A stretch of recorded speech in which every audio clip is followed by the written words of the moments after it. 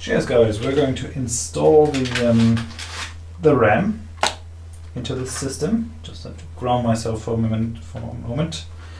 Now, these are the DIMM slots. Um, ideally, all the RAM that you use is of the same type. We're going to use the 4 RAMs, which are going to go in there. Just make sure to first pull these guys back over here. And then they can only go in one way so yeah that's the wrong way.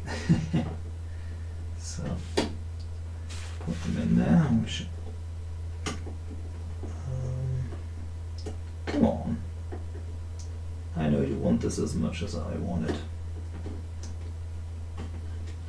Yeah like that okay so and then push it down until it clicks.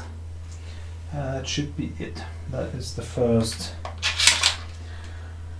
DIMM installed. And that is going to be the second one. Yep, push that down.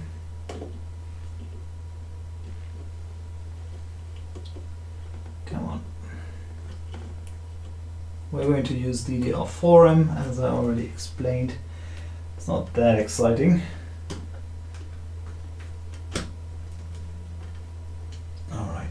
That's that. And we're going to use a low profile RAM from Corsair.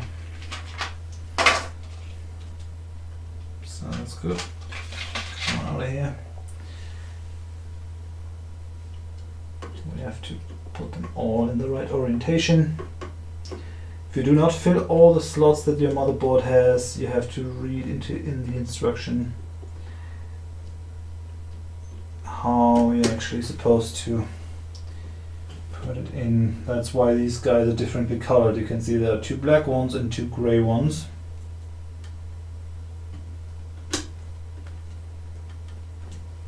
Alright, they are in now. Now we got the last one.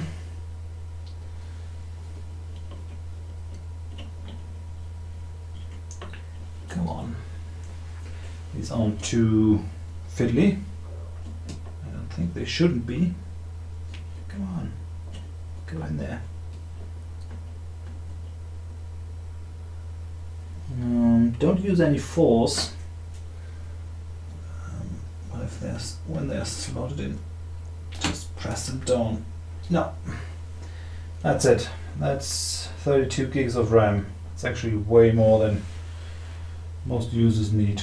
But I thought prices of RAM are not that crazy and um, it's going to help us because I do a lot of um, multitasking, alt tabbing and all that. So yeah, that's everything there is I think to installing RAM. We're going to move on to the CPU cooler in a minute. Bye guys.